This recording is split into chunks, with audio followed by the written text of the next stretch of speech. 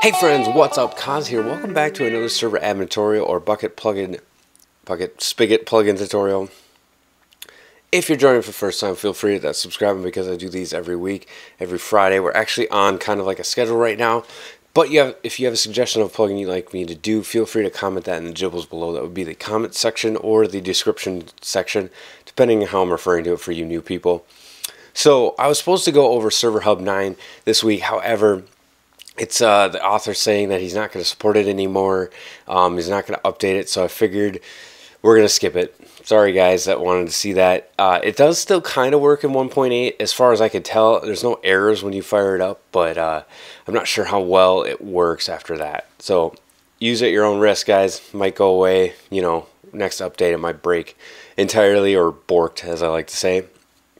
Anyway, so this one was supposed to be Point Shop as well, as you can see on the. Um, I think this way. This over here. Yes. Uh, Point Shop, but Point Shop is no longer supported as well, and he suggests using Boss Shop, which is actually a bigger plugin and much cooler. Does a lot more, so that's really cool. Anyway, Point Shop and Boss Shop were suggested by Archie Griffiths, Dukins, uh, Wolf Gamer 2000, and Brocky Is. I don't, I don't know if I'm pronouncing that right. Minecraft. It's made by Block X, and I think it's maintained by. Hold on, let me. I'm not prepared for this. Uh, Confuser. So there's a note saying that Blackixx is pretty busy, and um, it might be Confuser that'll be replying to you. Anyway, this is a huge plugin. So it does mainly do like a, a, a GUI or GUI for you weird people. Um, shop, which is really cool. And I know I've done that before, but there's more than that in here. You can also put in server commands. So you can put in a server menu, you know, so you can switch servers. You also put in warps in there. And then there's a permission in here where you can hide uh, options or menu options for people who don't have the permission for it. So you can have like warps show up for only the places that they're allowed to go, which is really cool. So if you have a prison server, for example, you can have all the warps made, but they can only see the ones that they can get to. So that if they're B, they won't be able to see all the other warps. Kind of a cool option. Anyway, it does do player points, but it requires the plugin player points and a little bit of configuration uh, goofiness here, which I'll show you in a moment. It requires an economy plugin. I use Essentials, and there's a 1.8 Essentials link will be in the gibbles uh, to that, as well as player points, and then Vault 1.5 plus if you're using one, you know, Spigot 1.8. If you're not using Spigot 1.8, what are you waiting for? Update. Everything's moving to it get out of the past, get in the future, and now I'm going to stop answering questions in regards to 1.7. So anyway, and then a permissions plugin. So I highly recommend PEX. It uses it has a little bit of less goofiness with multi-world permissions. So anyway, let's get into showing you guys how to set up shops. Well, first of all, I guess let's show you guys basic layout of it. You could do slash BS or boss shop, which is kind of funny. And then this player points, command points is showing up because we have not set up something correctly. And I'll show you guys that in a moment. But basically, you can click on the buy shop. You can click on stuff you want to buy. So let's see. Um, we could buy five diamonds, and then that takes out 5,000 from us. Um, we can go back. We can uh, click on the developer head, and we get a little head. Once again, we're still getting that player points. I'll show you guys that in a second. You got a point shop, which isn't going to work because we haven't got it configured correctly yet. Here's your servers. You can click on the servers, all, that stuff, which is cool. There's no back icon in there, so that's really cool. This is, uh, and then, yeah, it does work with LilyPad as well as BungeeCord, uh, depending on how you set those up. So anyway, and then here's your warps, which then you can set those all up in there. Spells, potions. Then you can also sell items, which is really cool. So there we go. We sold. We can sell all of our diamonds back and all of that stuff. So really quick and easy. You can also set up signs, which um, yeah, may, might as well show you guys that now. Let's see. I forget where the signs are because I am smart. Okay, here we go. So you set the sign up and you just do bracket menu Now, if you want that to open a different uh, different shop, like let's say we wanted to open the the uh, sell shop, you would just put that down there, go sell shop with the brackets around it, and then when you right click on it, it's going to open directly into that menu rather than the main menu, which is really cool. So that'll make a little more sense as we get into it. And um, I guess before we keep talking about it, let's talk about the permission nodes real quick. So the permission nodes are uh, bossshop.open allows you to open all shops. You can do bossshop.open.sign, which will allow players to open via the sign.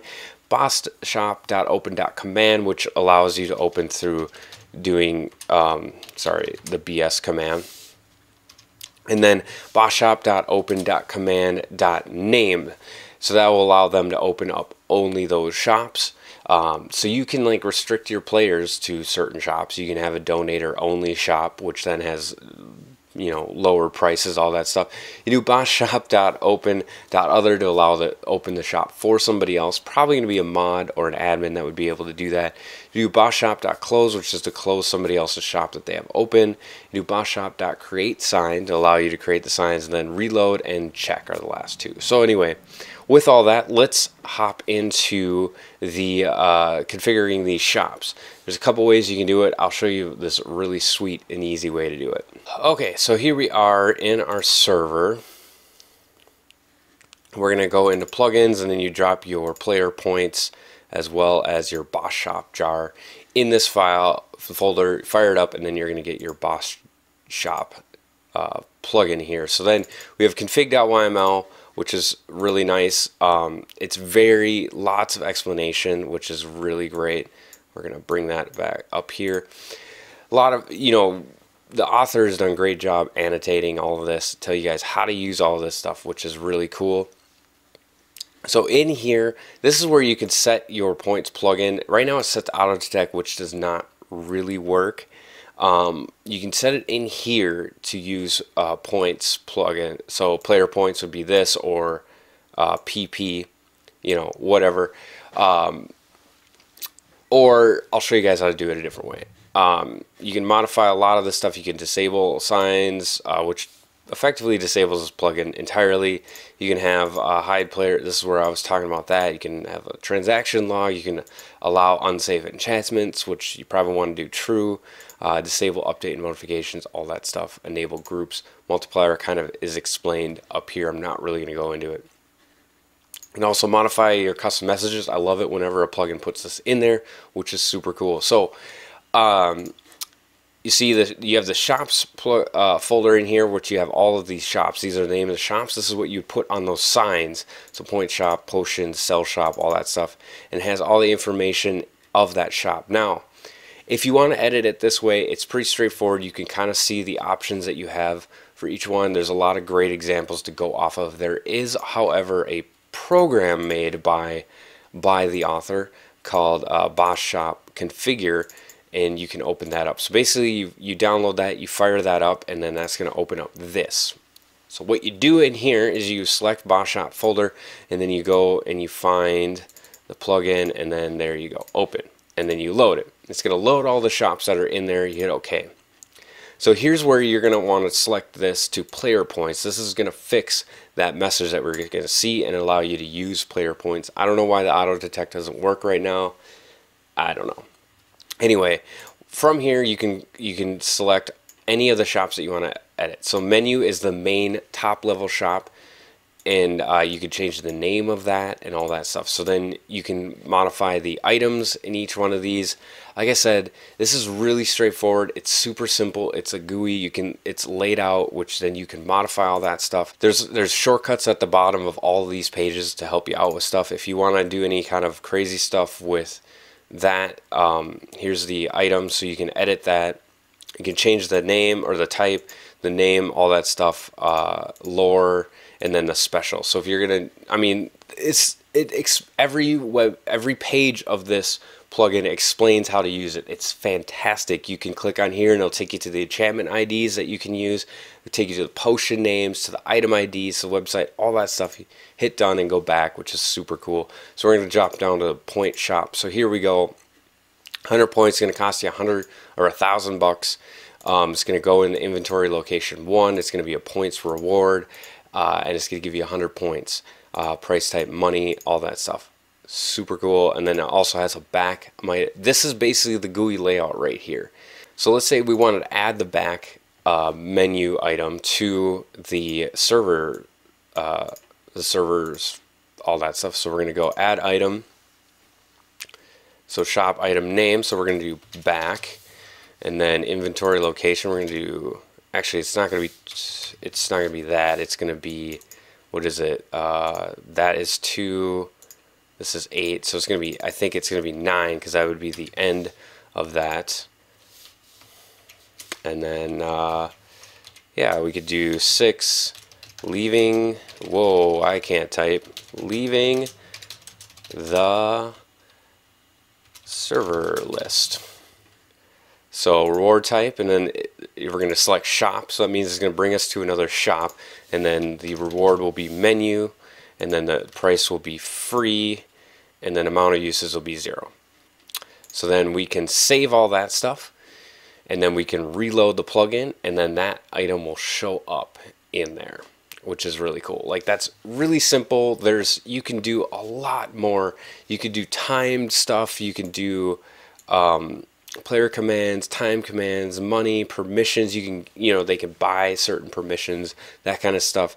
You can, they can buy commands, they can, all that stuff. Super cool. Like I said, this is great. You can create a new shop in here and then name it something else. Um, but I would just use the what's already in here as like an example to go off of. Just kind of like find something that's like what you want to do and then modify it. I'll have links to a lot of supporting web pages, but the author did a great job in laying this out, and there's not a whole lot else for me to go over. So let's hop back into the game and take a look at that back button that we added. Okay, so here we are back in the game. We're going to do BS reload or Boss Shop reload and we're actually going to put that back on. So now when we do BS, notice there's no point shop notification like that. And we're going to go into the shops and then I didn't actually change the item. So anyway, we didn't change the item to something. What can we change it to? And then we'll jump out of there and do BS reload, BS, and then we're to go back into there. And there we go. Just modified that in the GUI, really quick and easy. I did that in no time flat, and then it'll take us back to there. So have some fun with it. This does a whole lot of stuff. Modify it, make it what you want it to be, and it'll be really sweet for you guys. So hopefully that was helpful. Feel free to like, comment, and subscribe. Let me know if you have any questions. I'll do my best to answer them. Um, but with this one, you're probably better posting on the author's page. Um, be sure to check the description for any other uh, helpful links to a lot of the information that's used in this tutorial. This is Koz from McFriends reminding you guys all, enjoy the game. God bless.